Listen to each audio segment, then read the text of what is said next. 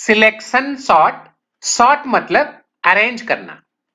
Example को देखो पाँच एलिमेंट गिवन है n value is five seven nine five six three इसको हम अरेंज करेंगे इंक्रीजिंग ऑर्डर में। सो so, क्या आएगा? पहले थ्री आएगा then five then six then seven and nine इस तरह से इसका आउटपुट आएगा।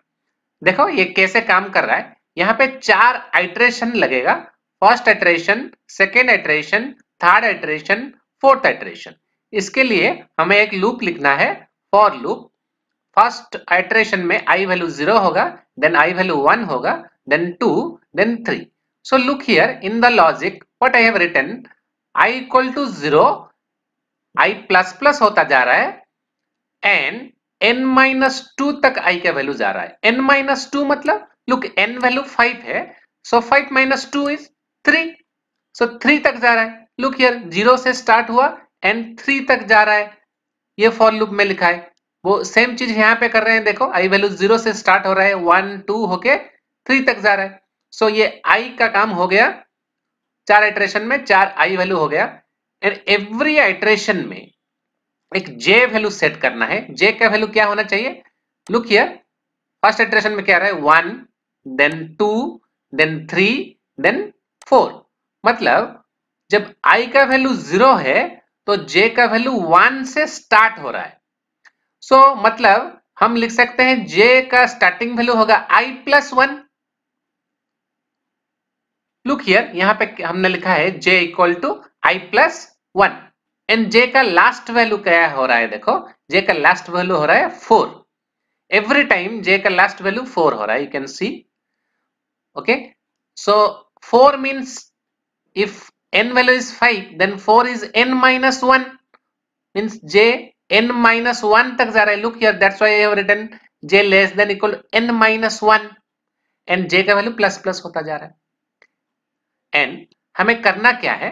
ना i वैल्यू के साथ j वैल्यू के कंपेयर करेंगे। मतलब i पोजीशन में जो एलिमेंट है एंड j पोजीशन में जो एलिमेंट है कंपेयर होगा। यहाँ पे j चार वैल्यू आ रहा है एंड आई का वैल्यू तो फिक्स है आई का वैल्यू है zero I am telling for the first iteration so first iteration में चार बार कंपेयर होगा. लुक हमने कॉलर दे दिया है. आई वाला होता है येलो कलर एंड जे वाला इज़ ग्रीन कॉलर ये जो सिंबल दिख रहा है, ये कंपेयर होता जा रहा है. ज़ीरो के साथ वन का, क्योंकि आई वैल्यू ज़ीरो है देन जे वैल्यू वन है. देन नेक्स्ट टाइम क्या होगा? ना आई वैल्यू ज़ीरो रहेगा एंड जे वैल्यू हो जाएगा टू सो ज़ीरो टू के साथ कंपेयर होगा। ये इंडेक्स के हिसाब से हम बोल रहे हैं बट एलिमेंट क्या कंपेयर होगा? Zero means seven and two means five similarly next I value zero then J value three then next time I value zero J value four so I value fix रहेगा एक iteration में and J value change होता रहेगा। And I के साथ जे का compare होगा। यहाँ पे हमने लिख दिया, अगर ग्रेटर देन देन स्वप इस तरह से हम कंपेयर करेंगे।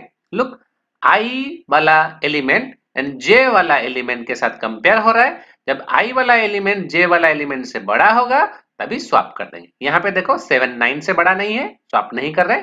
यहाँ पे देखो सेवन फाइव से बड़ा हो गया, इसलिए स्वाप कर दिया। मतलब फाइव आ गया यहाँ पे और सेवन आ गया यहाँ पे। You can see here swap होने के बाद फाइव सेवन यहाँ पे पोजिशन में आ गया। देन नेक्स्ट कंपेयर होगा। ज़ीरो पोजिशन के साथ थ्री पोजिशन मतलब फाइव के साथ सिक्स। सो so, यहाँ पे फाइव सिक्स से ग्रेटर नहीं है। यहाँ पे देखो zero position four position that means I position and J position. जो फाइव थ्री के साथ कंपेयर हो रहा है। फाइव थ्री से बड़ा है इसीलिए थ्री एंड यहाँ पे आ गया स्वाप होके एंड फाइव यहाँ पे आ गया। Okay so finally iteration one then first iteration में हमको क्या मिला? ना फ़र्स्ट एलिमेंट मतलब first position that is zero position ये वाला शॉर्ट हो गया। थ्री अपना प्रॉपर पोजीशन में आ गया। Look first position is sorted अगर ज़ीरो पोजीशन शॉर्ट हो गया तो सेकेंड एट्रेशन में हम वन से शुरू करेंगे।